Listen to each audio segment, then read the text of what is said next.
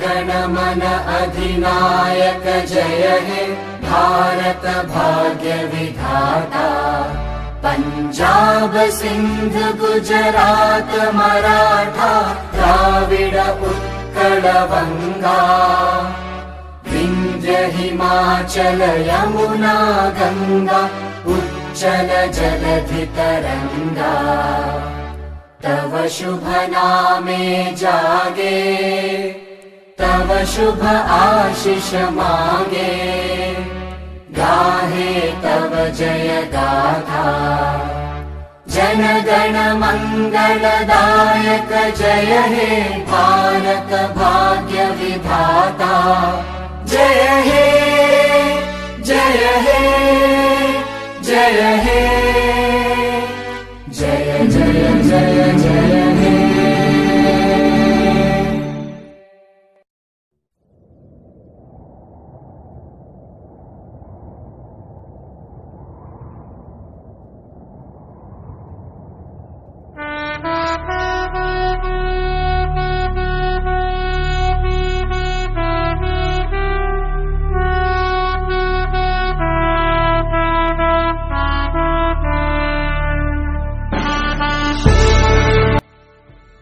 जितनी कुर्बानियाँ नहीं दी, या उनके बड़ों ने दी है। पूरी तरह साजिश के तहत इस मुल्क को बेचा जा रहा है।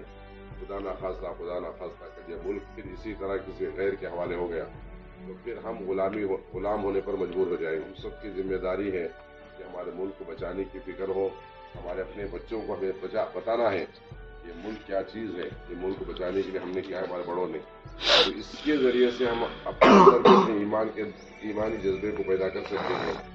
बच्चों के अंदर भी हमें तारीख बता सकते हैं कुछ भी ना जाने और अपने बच्चों को ना बताएँ ये बद, बड़ी बदकिस्मती बदकिस्मत की बात है।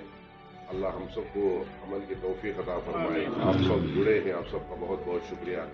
ये बहुत ही खुशी की बात है कि पहली मरतबा हम फजर के फ़ौरन बात किए इसमें इतमान बख्श कामयाबी मिली। हमारे आपने हमारी बात की इज़्ज़त और लाज रख ली है। अल्लाह ताला आपके आने को कबूल फरमाए। आप अंदर अल्लाह ताला इसका जज्बा शौक नसीब फरमाए। आइंदा इंशाअल्लाह हम जो भी हालात पेश आएँगे हम सब आगे बढ़कर इसके लिए कुर्बानियाँ दें। इंशाअल्लाह। हो और हिम्मत भी हो और मुसलमान कभी बुजदिल नहीं हो सकता। मुसलमान एक बहादुर कौम है हमारे बड़ों ने हमें बतला दिया। क्योंकि मुल्क जब बर्बाद हुआ उस वक्त दो मीर सादिकों ने इस मुल्क को बर्बाद किया। बंगाल के लिए और मैसूर शहर मैसूर रियासत मैसूर के लिए। एक जगह मीर सादिक और एक जगह मीर जाफ़र। इन दोनों ने मिलकर हमारे मुल्क को बर्बाद कर दिया। सिर्फ़ दो शख्सों की वजह से बहुत बड़ी बर्बादी आई। यहाँ तक कि हमारे शहीद हुए।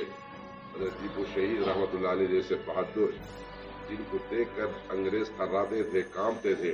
और ये समझते थे कि जब तक ये ज़िंदा है हम इस मुल्क को आज़ाद नहीं कर सकते। इस मुल्क पर कब्जा नहीं कर सकते। तो हमारे टीपू शहीद रहमत की भी ख्वाहिश थी, आखिरी दम तक हमें इस मुल्क को बचाने के लिए अपने आप को कुर्बान करूँगा। अल्लाह ने उनकी कुर्बानियों को कबूल किया। आज अंग्रेज़ की तारीफ़ हम भूल भूल